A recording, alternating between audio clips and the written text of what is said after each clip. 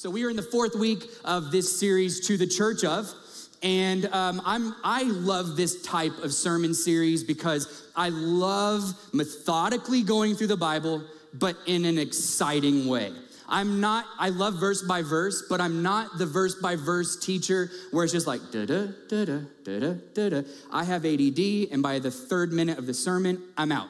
But what we're doing in this series is we're looking in the New Testament at letters that the Apostle Paul wrote. There were seven churches that he wrote letters to, and today we're looking at the church of Ephesus. The Apostle Paul was writing these letters to churches, believers. Um, in the first century, and he was trying to encourage them in the way of the Lord to keep the doctrine pure. He's warning them about cultural pressures and societal pressures, spiritual pressures around them. And he's, I mean, some of these letters are pretty hard hitting.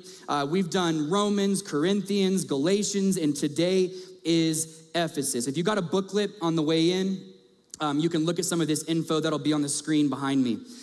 The author, again, is the Apostle Paul, and the date that this book was written was somewhere between 62 and 63 AD. Um, he was writing this letter while he was in prison in Rome.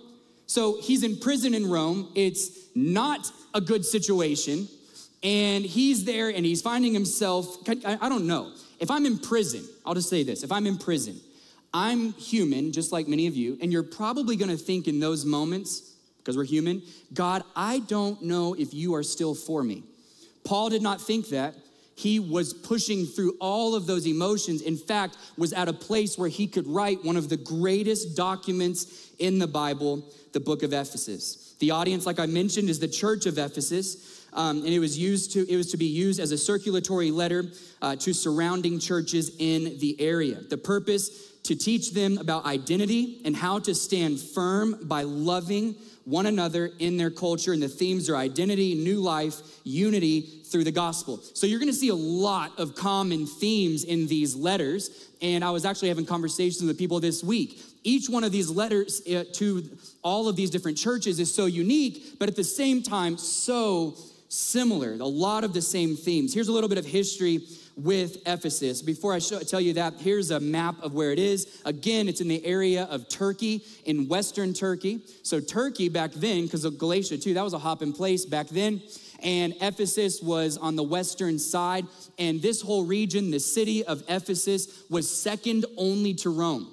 So you have Rome as basically the epicenter of the world, and then a very close second was Ephesus because of trade, because of money, the economy. There was tourism, in Ephesus. There was also a very famous temple there called the Temple of Artemis, and it was built in uh, 350 BC, and it was listed as one of the seven ancient wonders of the world. This massive temple. I, I was looking at the dimensions, and the dimensions are 350 feet by 180 feet. This is much larger than an NFL football field. I mean, massive, massive temple. It was destroyed, then rebuilt, then destroyed again, all the way down to its foundations, and all is left there now are ruins in this area. So again, Paul is writing to believers in a city that is very corrupt, the economy is booming, the Roman Empire is surging, and there are all kinds of people. It's a melting pot of cultures. There is so much pressure on these people that he's writing to much like today, except the economy isn't booming. But he's writing with a lot of the same pressures in society and culture as we're facing today. I'm gonna zero in on a passage, and I was, I was really trying to figure out what am I gonna preach on with Ephesus? What am I gonna preach on? I'm gonna touch on today the idea of spiritual warfare. So if you have your Bibles, you can turn to Ephesians chapter 6. But before I go there, um, I'll, I'll say this. We all have this it's almost like we're born with it as little kids. We all have this innate understanding, this innate knowledge that there is good and evil in society. Good and evil. We, we just know it. We can, we can feel that there's good and evil. In every single, even little kid TV show and movie, it, you've got to have opposing sides. There's good and evil. There's a hero and there are villains. I have a collage of the, the Disney villains, and I know Disney is Disney right now, but at least we've seen all of these things. And you look at these villains, and what's weird is, is we know they're evil, but you also have this kind of like, ah, did you know villains at Disneyland are more popular with little kids than the heroes? There are longer lines for most of the villains. That'll tell you something about human nature. Okay, so I, will never forget. You, I look at Scar up here. I'll never forget. I love The Lion King. I, I, anybody else like The Lion King? I love The Lion King. Um, and I'll never forget this. You know, we talk about villains. Simba goes away into the wilderness and he's gone. There's all these biblical things too. I'm sure Disney didn't mean to, but I'm gonna see him in there anyway. So Simba comes back from the wilderness and he's approaching Scar. Scar has destroyed all of the area around Pride Rock, all this stuff. And as a little kid, even as an adult, I was watching this a little while ago. I was like, my little daughter Aslan, Aslan, this is my favorite part. It's coming up, it's right here. You know, and Simba comes back and Scar sees Simba. Simba views himself as that little bitty cub that was afraid, that ran away all those years ago. And then he comes back and he sees himself as the afraid little cub. But then Scar looks at Simba and he sees Simba through the eyes of his father, Mufasa. That'll preach. You can clap. That'll preach. But that's not what my sermon is.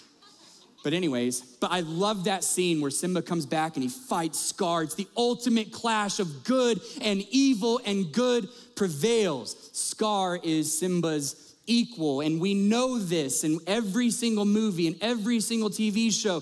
The best books, the best entertainment has a clash of good and evil.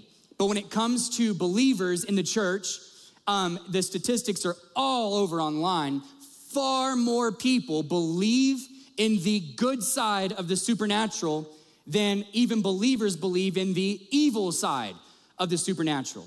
It's actually tripled. Three times the amount of believers believe in the existence of angels more than the existence of demons. Because we'll know that there's good and evil, but we don't want to put a name on evil because then I got to think about it. So it's gonna be like, yeah, it's out there, but I wanna know all the names of the good guys. It's because I wanna know who's on my side. So today is about spiritual warfare. Ephesians 6, 11 through 12, and just a couple verses here, and I'm gonna pull the whole message out of this. And I know it's spiritual warfare, but we'll still, we'll still have fun today, I promise. Ephesians 6, 11 through 12. Put on the whole armor of God. This is toward the end of the letter from the Apostle Paul. Put on the whole armor of God that you may be able to stand against the schemes of the devil. For we do not wrestle against flesh and blood, but against the rulers, against the authorities, against the powers over this present darkness, against the spiritual forces of evil in the heavenly places. This is a loaded verse, and today I'm not going to pinpoint the armor of God. I actually preached on that in February. We're gonna look at the rest of this passage, though, and we're gonna dive a little bit deeper in looking into who are these dark forces. What, what is their purpose in this world? What does it mean to me, and what exactly are they behind um, when it comes to all of the destruction in the world. Before I jump in, if you guys want to take a picture of this next slide, I want to show you this is not all of them, but a great list of spirit or of scriptural references for spiritual warfare. Any of these verses, um, a couple of our verses today are from there. Any of these verses would be great studies for you to read, to cross reference, and look at when it comes to spiritual warfare in your own um, Bible study time. You guys got pictures? You good? You good? You good? It's, it's okay. People are still going. It's okay. I'll wait. Right, all right, next slide. Ephesians 6, 11 through 12 again says, Put on the whole armor of God that you may be able to stand, and this is the part we're gonna zero in on for a second, stand against the schemes of the devil. The schemes of the devil. You know, whenever I am writing a sermon and I write out the word devil, you know, anytime I start talking about that Satan, devil, there's always a handful of people in the crowd. You, I, I promise you, I, I, can, I can see a lot more than you think. Okay, so pe- people are like, oh, the devil. This guy actually believes in the devil. Uh, yeah. Uh, you just gotta walk outside and look at the world and know something is behind this level of evil and corruption in the world. There are schemes of the devil. T- corruption. There are schemes of the devil everywhere. Christians are constantly attacked by an angelic tempter. This is what the Bible calls him an angelic tempter, and his name is Satan. Satan um, his name in heaven before he fell was Lucifer. Many of us know that. Um, his name meant angel of light, angel of light. So here's what I want to do I'm going to do uh, three or four little lists today that'll help you understand a little bit more about spiritual warfare. And here's the first one I want us to look, look at facts about Satan slash Lucifer. Facts about Satan. Number one, Satan is God's opponent, but not God's equal opposite. He is not God's equal. You know, there, there's so many, like, I saw this little uh, meme, I guess, that was being passed around on Facebook. Have you guys ever seen this? Jesus is sitting at a table and he's arm wrestling Satan. And people are like, if you really love God, share this. Don't do that. That's kind of weird. Okay, like I love God, but I'm not gonna share Jesus arm wrestling Satan. We see these little images like Satan and Jesus are equals and they're warring against each other.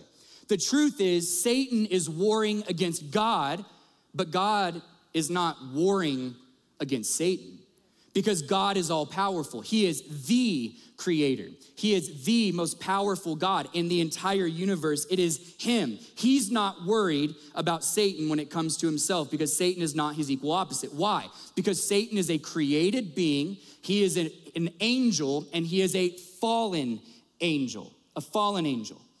We see the story of him falling in the Old Testament in several places, and Jesus actually in the New Testament references it in Luke 10 18. It says, Jesus replied, I saw Satan fall like lightning from heaven. Isn't it interesting as Christians sometimes, because Jesus, in, in accordance to his name, started in the New Testament, that we kind of just think that's where Jesus started. But Jesus gives us a glimpse at the dawn before time, and you're looking at this and you're thinking about all this stuff, and Jesus gives us a glimpse. He is watching, he is watching the rebellion of Satan against God the Father.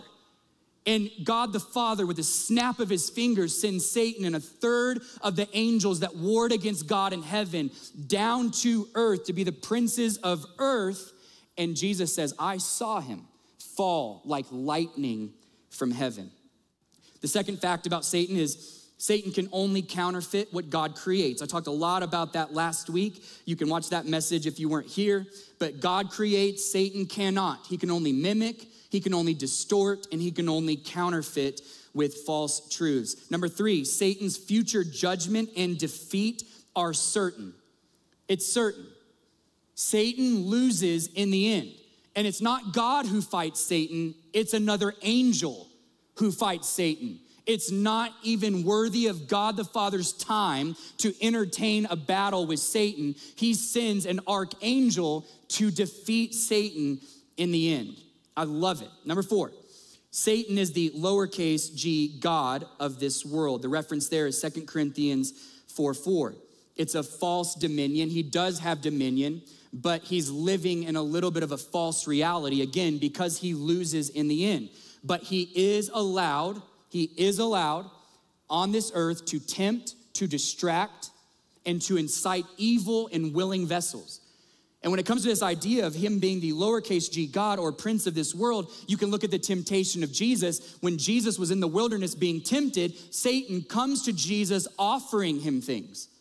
I want to offer you this land. I want to offer you these riches. I want to give you these things because right now he has dominion over this fallen world. But the resurrection was a huge reminder to Satan sin and death have been broken, and you lose in the end. Number five, Satan can only defeat you if you allow him to. So, right off the bat, before I go into any of the message, spiritual warfare messages on this have nothing to do with you leaving and being afraid or trying to find a demon behind every rock you stub your toe on. It's not like that. We don't have to be afraid because Satan can only defeat a believer if we allow him to. Why? Because when we accept Christ, what I talked about last week, we now become the temple of the Holy Spirit and the Holy Spirit resides in us. I've had people in the past whenever you do Q&As, one question that always comes up is can Christians become demon possessed? people are fascinated with demon movies and demon possession movies and, and they're so like hollywoodized but here people want to know can they no Because how can one space be occupied by two different entities? You have the Holy Spirit. I am filled with the Spirit, therefore, I cannot be filled with something else. And a reminder it is that Holy Spirit who was the power behind the resurrection. That's the power we have living inside of us. So, Satan, again, in this scripture, uses many schemes. It says the schemes of the devil. This comes from a Greek word um, called methodia. And these schemes enter our individual lives, our families, the church, and the world.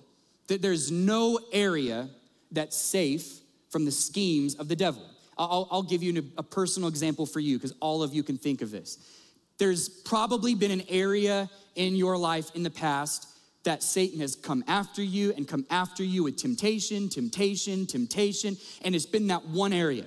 Over time, as you grow in your faith, you shore up that area, you get accountability, you take it out of secrecy, out of the darkness of your soul, you let people know, you repent of it, and now no longer is that one specific thing the thing Satan uses.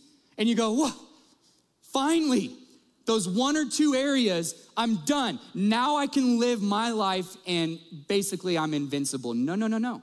Because the moment you shore that up, Satan is looking for another open area in your life that you don't have the shield up, you don't have the guard up, because what he's looking for are areas you are not looking at. That's what Satan is coming for in our lives. And he comes with these things. These are the schemes. They're behind me.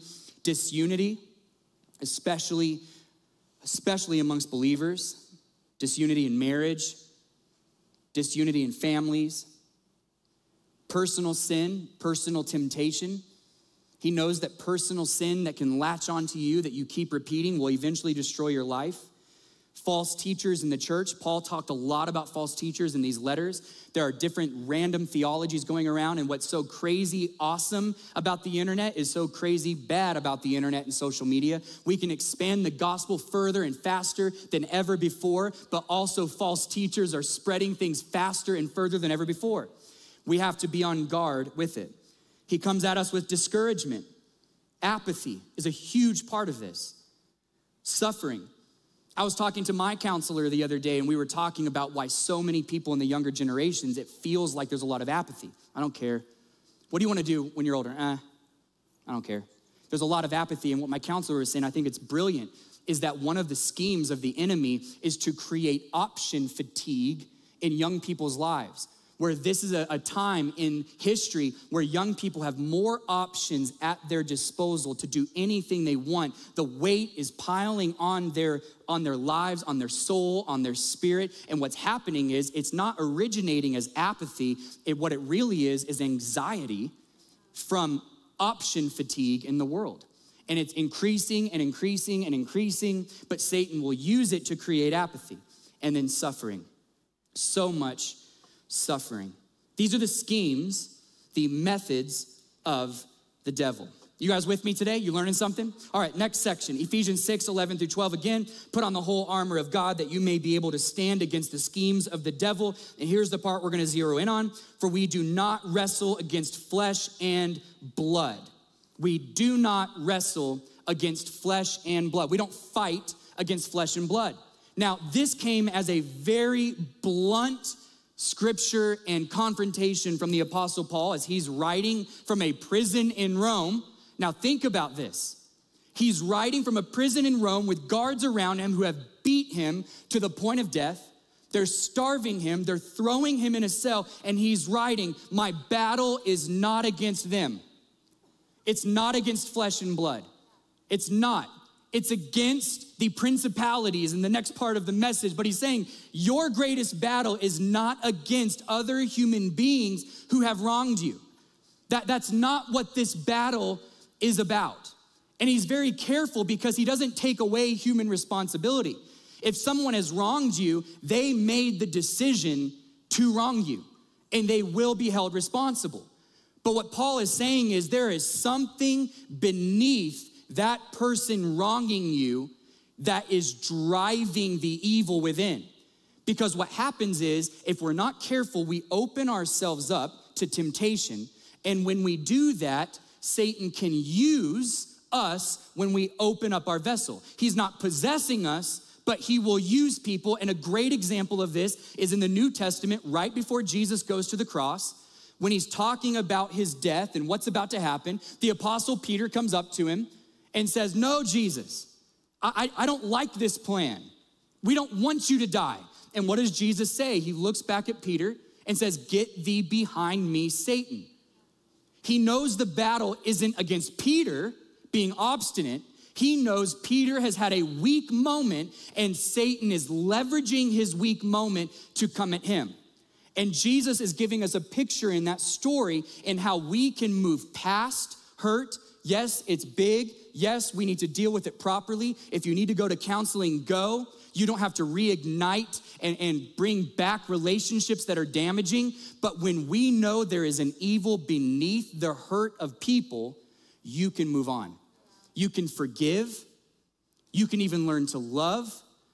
Yes, the person's responsible, but this passage is saying also Satan is beneath it, looking and scheming, and our battle is not against flesh and blood. And what we have a tendency to do, especially at election seasons, what we have a tendency to do is to look at people, evil politicians, whoever you think those are, and say, they, they're the problem.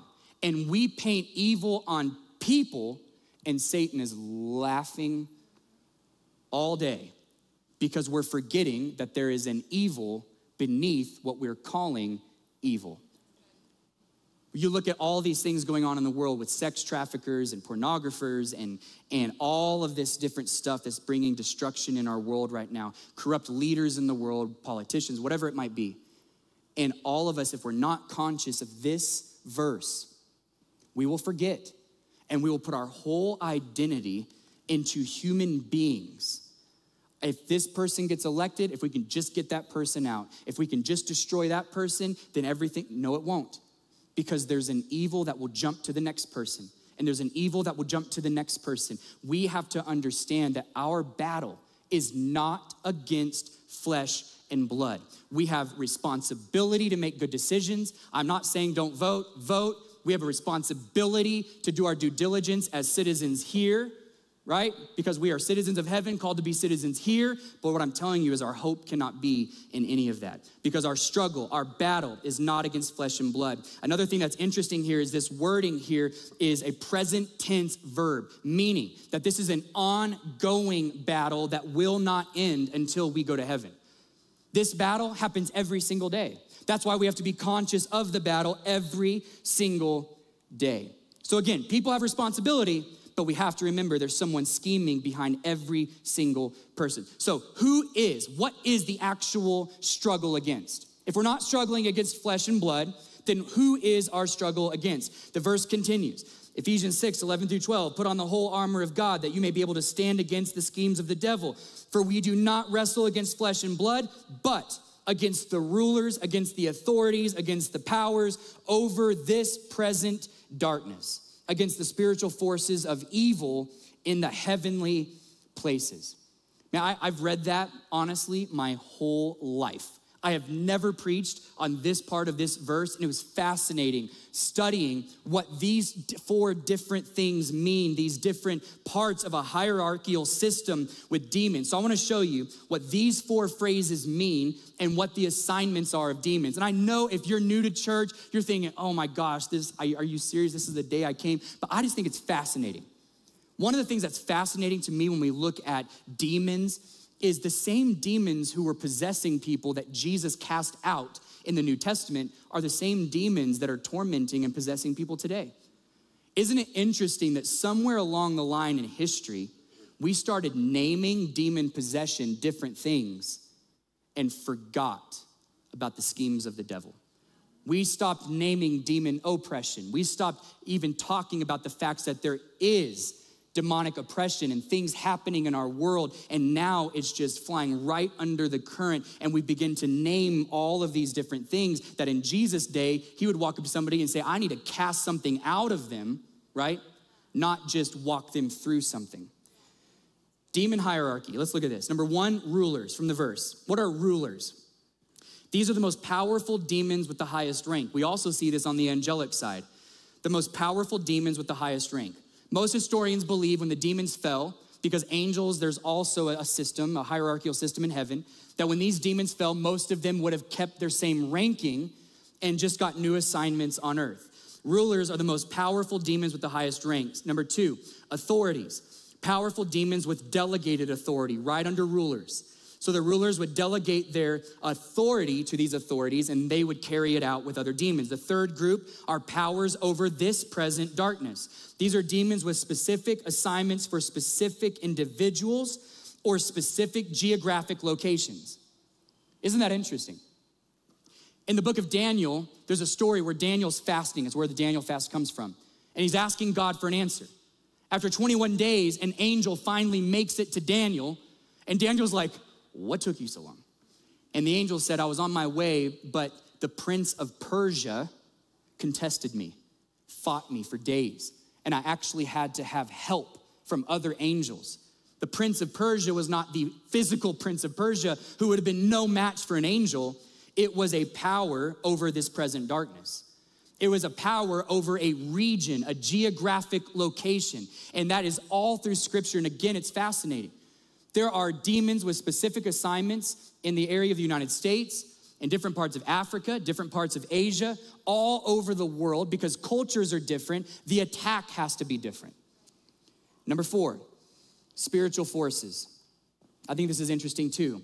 Most theologians and historians would say that this is very similar to our special forces in our military with unique special skill sets to battle humans with unique special callings and assignments. You know, what's fascinating to me is we love talking about how, like, do I have a guardian angel? Maybe, I don't know. The Bible never says it explicitly, it's possible. But guardian angels are specifically assigned, if, they're real, are specifically assigned to you. But isn't it interesting that the Bible says all of us have callings and assignments? All of us are uniquely created, and there is a whole legion of demons that are specifically assigned, a special forces of demons specifically assigned to people with special assignments and special callings for such a time as this. Whenever we feel like the instance of God saying, I, God, I really feel like this is what you're wanting me to do. This is a new season for me. We finally have clarity on God, yes, this is what I'm supposed to do. That is not the time Satan just rolls over and goes, oh, we're done for. That's the time the special forces are sent to you. God's hand is on you, His Spirit is with you, but the demonic forces are looking for openings. They're looking for spaces in our lives as we pursue our calling to bring destruction into our lives. Are you guys still with me? Is, it, is this interesting? All right, all right. Just making sure, making sure. It's interesting to me, so that's, that's why I'm preaching. Okay, so I want to show you something that I worked on this week, and I found some stuff online, and um, I worked on this, and I think this will really help. So before it goes up, it's going to be overwhelming, but just just listen to me, and I'll, I'll kind of show you where to get this. I want to show you a, a spiritual warfare graph that you can look up. Now, I, I know, ah. so here's what's cool. There is a QR code on either side of the screens, and if you click on that QR code, it'll take you straight to a link, a, a website where this uh, image is on there, where you can zoom in at any time right now. As I go through some of it, um, you can take a look at this. But I think this is a really interesting way of looking at spiritual warfare and what the world looks like if if we're losing spiritual warfare versus what the world looks like if we are winning spiritual warfare. So I want to zero in on a couple things. And so obviously Satan working in the world is this side, God working through the church is this side. If we can go to the next slide and zero in on Satan working in the world real quick.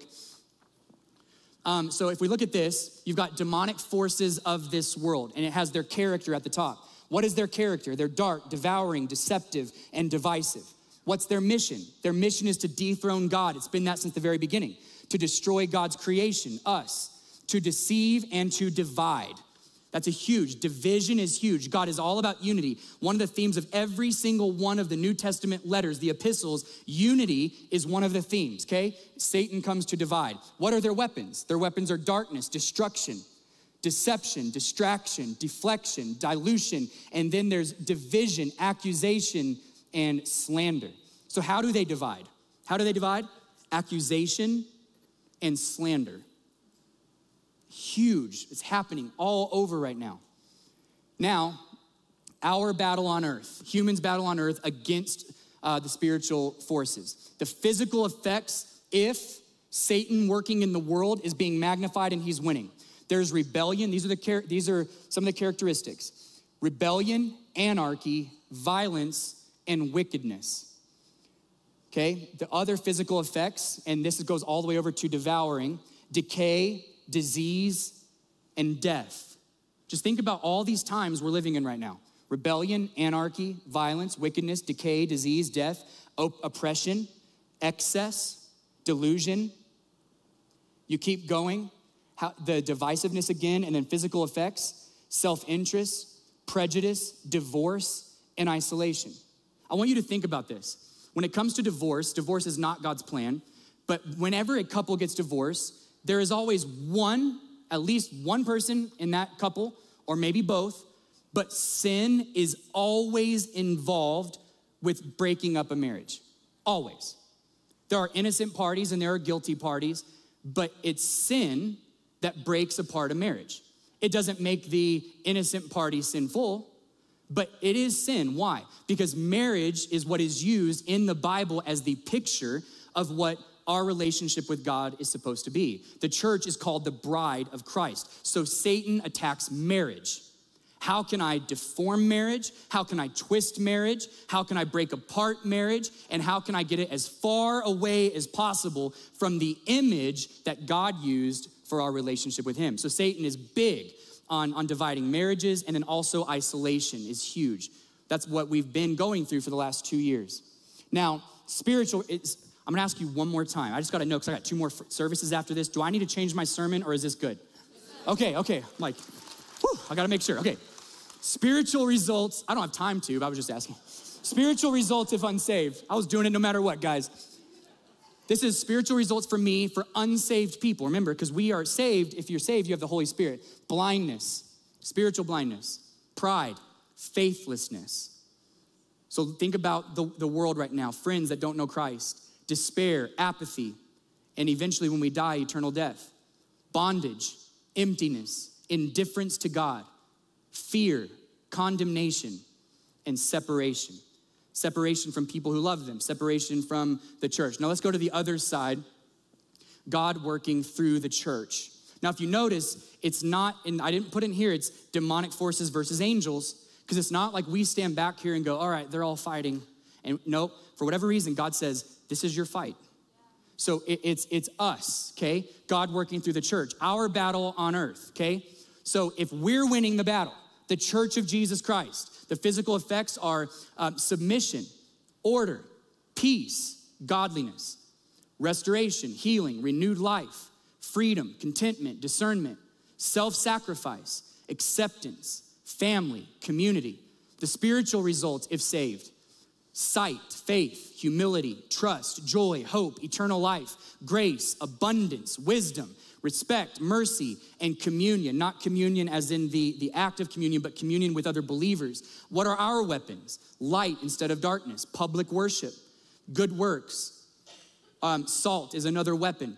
Influence, meaning influence with others, and prayer. Truth is another weapon. Preach the word, be, be fruitful, fight for the faith. Paul commissioned Timothy, and that's what he said. You've got to preach the word because the Bible, the Word of God, is the sword. It's the offensive weapon. We've got to preach the truth. Love, neighborly love, brotherly love, Christ like love. Hugely important. Our mission illumination instead of darkness, restoration, renewal, preservation. Our, our mission is also revelation when it comes to the truth of, of, the, of the gospel, reconciliation instead of division. Jesus' life in us. He is the light the life, the truth, the way, and God living in us over here through Holy Spirit power leads to repentance, seals and comforts, teaches, guides, helps, equips, and empowers. So I think that's awesome. And so when you look at this, what's fascinating to me, go back to the big image if you would again. Our battle on earth is the center. The big one, if you would, real quick. There you go. Our battle on earth is the center. And this is where the world is constantly teetering back and forth. Where are we gonna be? And it all comes back to does the church understand the mission?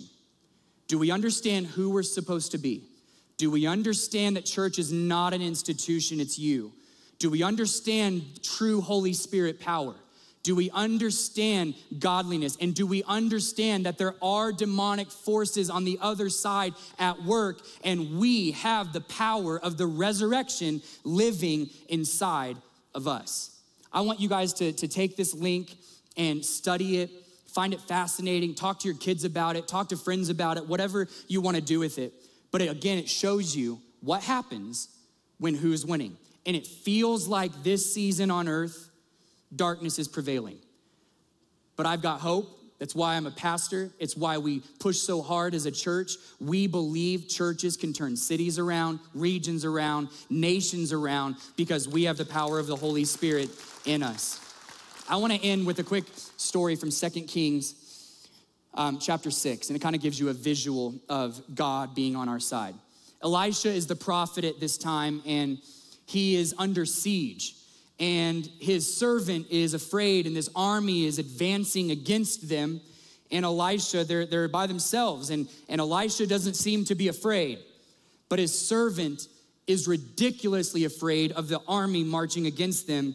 And it says this in 2 Kings 6 15 through 17. When the servant of the man of God rose early in the morning and went out, behold, an army with horses and chariots was all around the city. And the servant said, Alas, my master, what shall we do? That's what I would say. If you go out and an army is advancing against you, I'm gonna say, What are we supposed to do? Because that's what it sure feels like when I watch my kids go into public schools, when I watch people walk out into the community every day. We live our lives. That's what it feels like. We're outnumbered. There's an army of darkness marching against us. How are our kids gonna make it? What is our country gonna look like in 15 years? What's our world gonna look like in 25 years? The army is marching against us and it feels hopeless. What shall we do? He said. Do not be afraid, for those who are with us are far more than those who are with them. Then Elisha prayed and said, Oh Lord, please open his eyes that he may see. So the Lord opened the eyes of the young man, and he saw, and behold, the mountain was full of horses and chariots of fire around Elisha. You know, I love this image because when we feel surrounded, when we're in spiritual warfare, when it actually feels like all hell is breaking loose. We have kids that have run from God and they won't come back. Our marriage is on the rocks and it doesn't seem like there's hope. Finances are spiraling out of control. There's confusion, depression, anxiety. All hell is breaking loose and we're surrounded. Elijah said, God, let him see. Because when you are surrounded, the enemy is surrounded by God. And that's what this image is. In my lowest moments over the last couple years, I've literally, some people have a figurative prayer closet. Mine is my closet. It's kind of awkward, but I go into my closet. I remember these couple times I got down on my knees and I just said, God, I need to see. Because I don't see, I don't see your army right now. I have prayed. I have done everything you've told me to do. I need to see. You may not see the physical angelic army, but when you humble yourself before God, it's okay to feel like you're losing the spiritual battle. He's not gonna be mad at you. Sometimes you just need to go to God and say, God, I need to see. I need to know you are with me and that this army who surrounded me, that that army is surrounded by you. Because if I know the army's surrounded by you, I'm gonna make it. I'm gonna make it through this trial, I'm gonna make it through this valley. Because although the devil is scheming, our God is willing. He has a will for your life. He has a calling for your life. No scheme of the devil can distract you, no scheme of the devil can destroy it.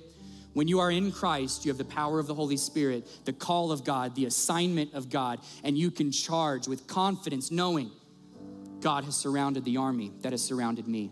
One of my favorite verses in the Bible is Romans 8:31 and it says, "If God is for us, who can be against us?" If God is for us, who can be against us? It's not an actual question needing an answer. What Paul was saying is, God is for you, and no one can stand against you. No enemy, no devil, no demon can stand against you when we fight spiritual warfare. So today, here's what how I want to end. I want if you would bow your heads and close your eyes. If you're in the room today and you're just in that season where you do feel like it's just been a big battle. When I was talking about all hell breaking loose, you're thinking that's that's me. It might be my family, might be my marriage. I'm gonna ask you to raise your hand, and some of you may not be able to even because people sitting around you, and that's fine. But if you are willing right now, when I ask you to, to raise your hand, I, wanna, I want you to raise your hand and look at me, and I wanna pray for you. And I want this prayer to, to ignite something in you, to ignite the warrior in you, to ignite the fighter, to stand up and say, I can fight this battle. Because the God that is for me is so much greater than the enemy that's against me. If you're going through one of those seasons, would you just raise your hand right now, right where you're at? I see you. I see you. Thank you, guys. Just keep it up for a second. I see you guys. Thank you. Thank you. Thank you. You can put them back down. When I pray this prayer, this is what I want you to pray. Just in your own mind, under your breath, out loud, however you want to do it. I just want you to pray, God, let me see. Open my eyes to the reality that you're fighting for me. Renew my faith, renew my heart. Renew me today, God. Give me a renewed strength in my life. That's what I want you to pray as I begin to pray. And I just believe that the Holy Spirit will fill you up. That power that gave Jesus his breath in the tomb resides in you if you're a believer right now. That power resides in you. But that power will not force itself on you. We have to say, Come, Holy Spirit, fill me, empower me, ignite me, and bring out the warrior within me. Let's pray. Father, we thank you for every person that raised their hands. So many people are going through seasons right now of hurt and pain, struggle, battles, battles of mental health, depression, anxiety, marriage, brokenness, rejection, divorce, losing jobs, children that don't know Christ, rebellion in the home. People have to carry so much, God.